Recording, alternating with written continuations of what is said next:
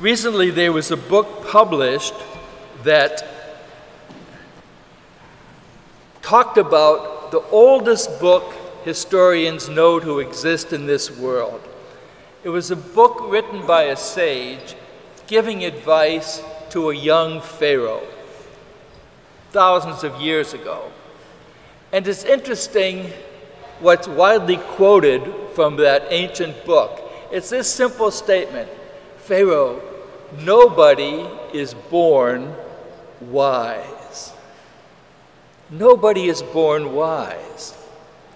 That means that every single one of us in this church this morning, as we have lived our lives, look back and say, you know, we've done some foolish things, we've said some foolish things, we've done things we can't undo. But as we experience life and reflect upon it, we grow in wisdom.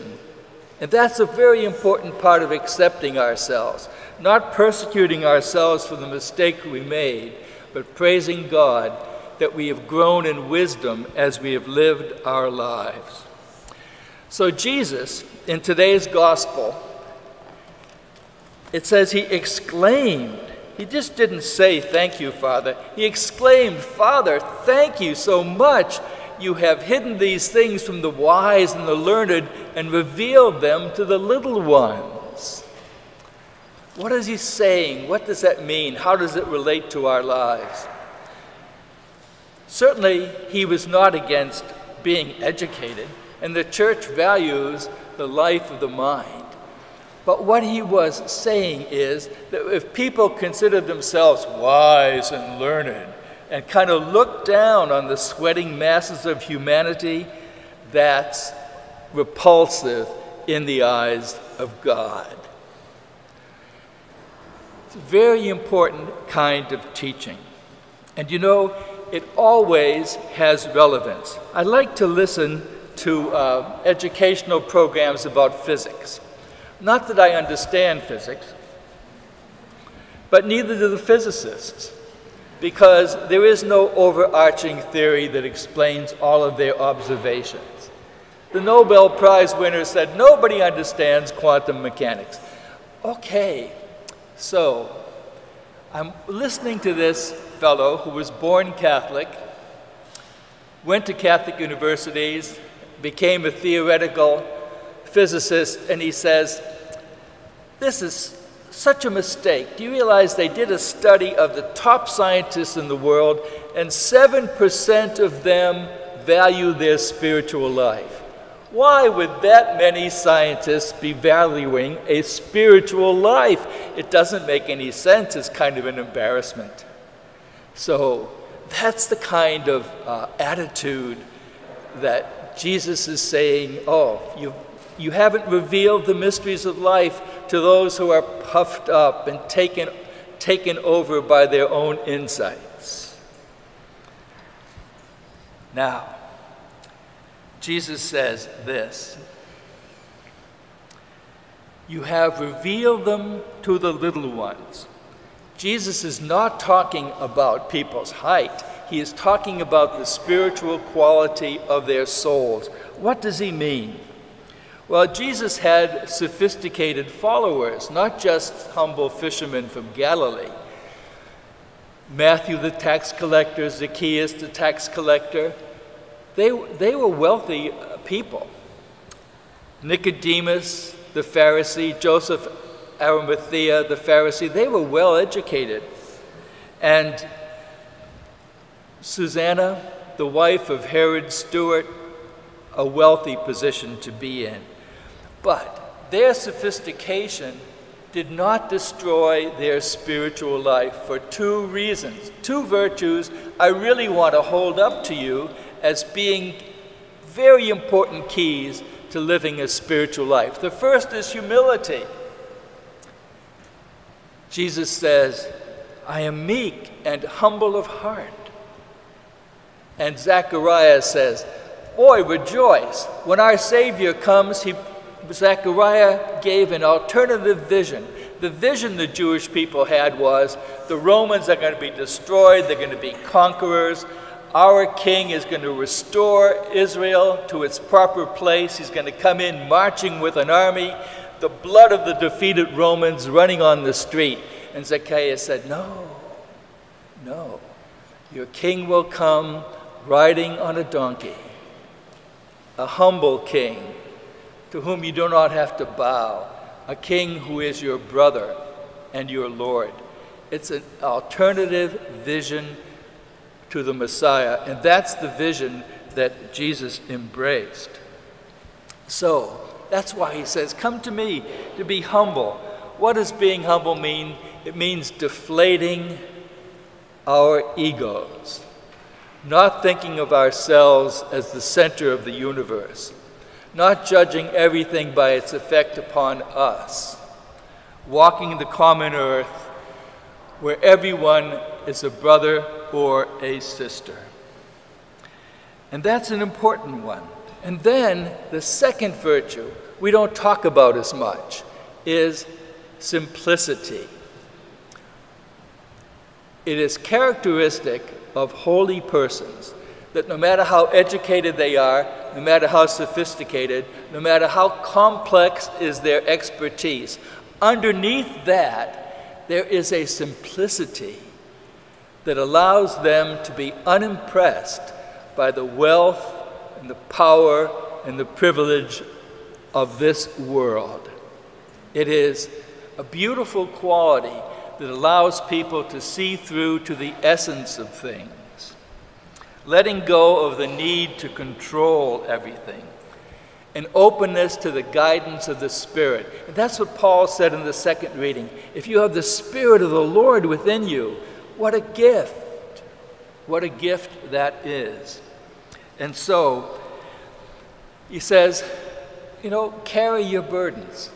In, in the previous reading last week, carry the cross. Everybody does have a certain amount of cross in life, a certain amount of burden. It's kind of inescapable. But persons who are both humble and have the gift of fundamental simplicity can do something extraordinary that I've experienced. That is, they can take the pain of their life and make it a source of healing for others. I haven't read that in the book, I've experienced that in my ministry. I'll never forget the most important, the most significant parish council meeting I was ever at. The meetings were open to parishioners. We were just sitting around talking normal stuff. And in walks a parishioner. And she stands up before the whole pastoral council and says, My husband and I have been members of this church since it was founded by Monsignor Coyne.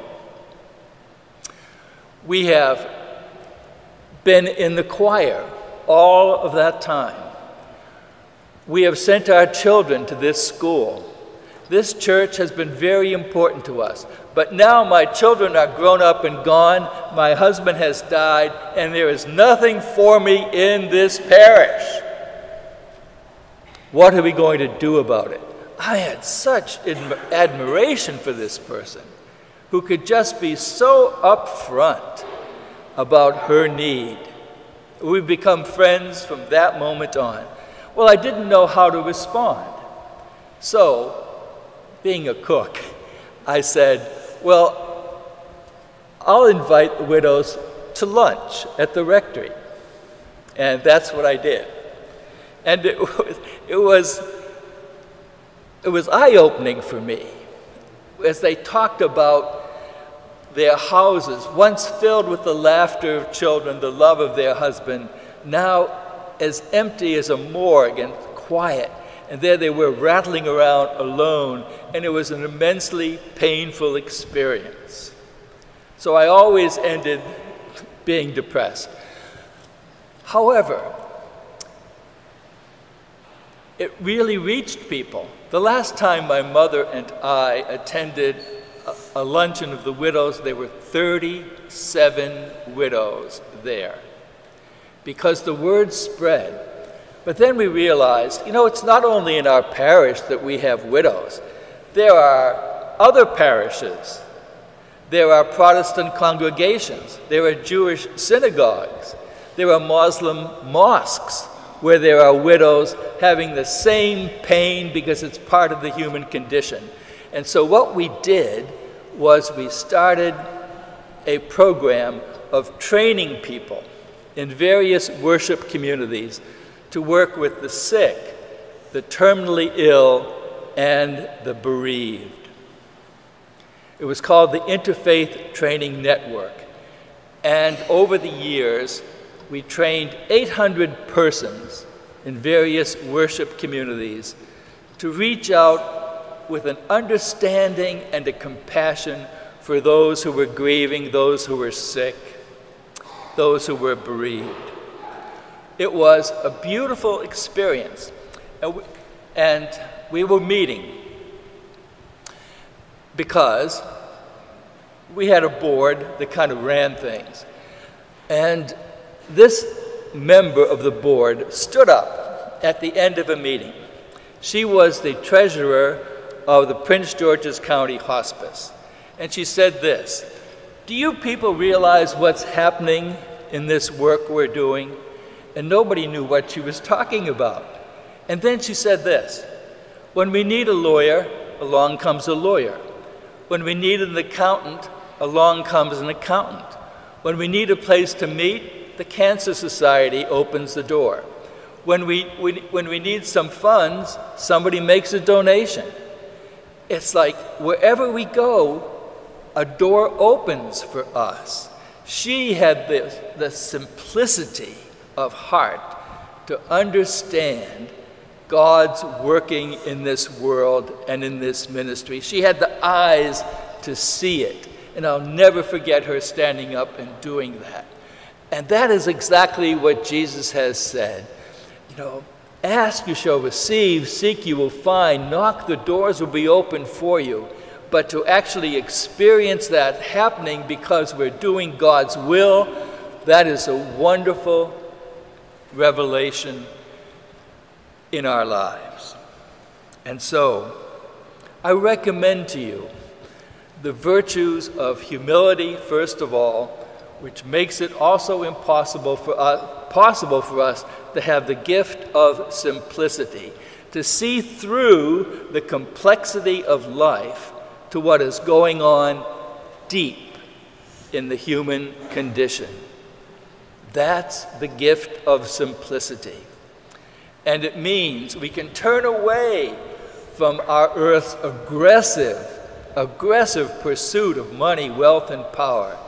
And we, we can find more noble values by which to live our lives, especially the gift of being compassionate, because we are aware of the suffering and the needs of others. One of the most beautiful hymns in our country, besides Amazing Grace, is the Shaker hymn, the gift Tis a gift to be simple. It's a beautiful hymn. And it's filled with faith. And uh, guess what? Grace is going to sing it for you now, accompanied by her handsome husband on the piano. Just listen to this. We are not born with wisdom. They were right thousands of years ago in Egypt. But through humility and simplicity, we will grow in wisdom. In the name of the Father, the Son, the Holy Spirit. Amen.